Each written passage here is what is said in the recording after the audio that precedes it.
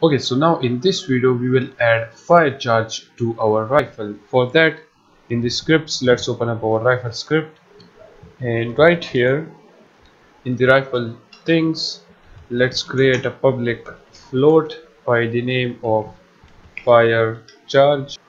And this will be equals to 15f then after this add another header. And let's name this header as rifle ammunition and shooting. Right here we will create a private float by the name of next time to shoot. And this will be equals to 0f and guys you know what fire charge or fire rate means? It is basically a rate of fire or you can say a charge of fire is the frequency at which a specific weapon can fire or you can say launch its projectiles or bullets okay? So since we have a automatic rifle then we will add a specific fire charge to it okay? You can change this fire charge or fire rate according to your weapon if you are using some different weapon. Because as you know that every weapon has its own fire rate some has higher fire rate or fire charge and some weapons have a low firing rate.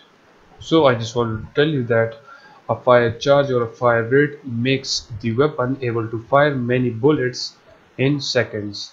And since we will be dealing with raycast so our raycast raycast acts as bullets so you can consider this as bullets as well. Okay so right here when we fire okay then right here we want to add the fire charge. So first of all we will say that if the current time okay this time dot time means current time is greater than or equals to the next time to shoot okay next time to shoot is for now equals to 0f so if that is the case then right here first of all what we will do we will say that we will basically equals the next time to shoot to the current time and then we will say plus 1f divided by fire charge.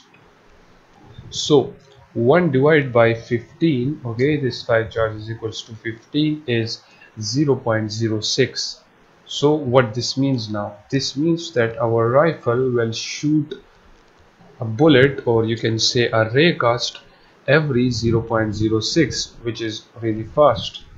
And basically you can say that our rifle will now shoot in intervals okay? So for now let's just save this and as you know that our rifle before adding the fire charge was in single shot okay?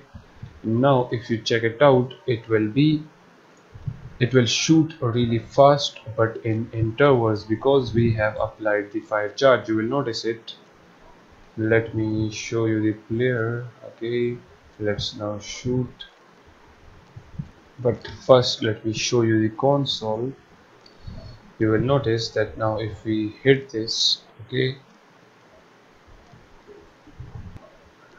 As you can see it still shoots in single shot. Whenever we press the fire one button it shoots as you can see. It doesn't shoot according to the fire charge which we applied. And this is because of this down okay? So now we need to remove this down from there okay? Just leave it as cut button. And now if we check it out let me play this in maximize okay and actually let's open up the console as well so that you guys can see.